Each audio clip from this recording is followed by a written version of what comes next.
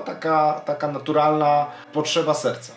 Nie, ma, nie, nie mam zielonego, to nie, no nic więcej. To był tylko impuls, tak? Chcę jeździć. A dlaczego chcę jeździć? Nie wiem, nie potrafię na to odpowiedzieć. Bo jednak do tych dwóch kółek każdego gdzieś mężczyzny, mężczyznę poniekąd gdzieś, gdzieś ciągnie. Daje taką niesamowitą satysfakcję, daje jakiś kontakt z samym sobą. Ja zawsze mówię, że jazda motocyklem jest taka trochę medytacją.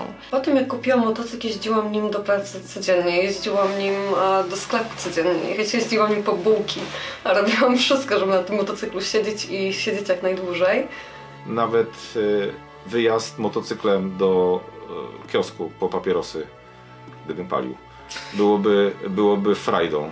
Część osób robi to na pewno dla szpanu, część osób robi to dla frajdy, część może dla adrenalina. Życie i chęci do życia zaczynają się powyżej 200, no i to śmiało się pod tym podpisuję, ale oczywiście na torze. A co by się nie stało, nie wiem, jakaś choroba czy coś, to jest nieważne. Liczy się tylko motocykl, ja, trasa i nic więcej. Nigdy, nawet leżąc w szpitalu, ani przez moment nie pomyślałam o tym, że ja już nie będę jeździć. Od pierwszych dni, kiedy zacząłem chodzić, prostu motocyklem mnie zacząłem kręcić. No jest to jednak jedno, jedno, jedno uczucie nieodwracalne, nie do zmienienia. Nie chce się zsiadać, jest to fantastyczna rzecz. Czym jest pasja na motocykli? Jest czymś, bez czego no nie można żyć.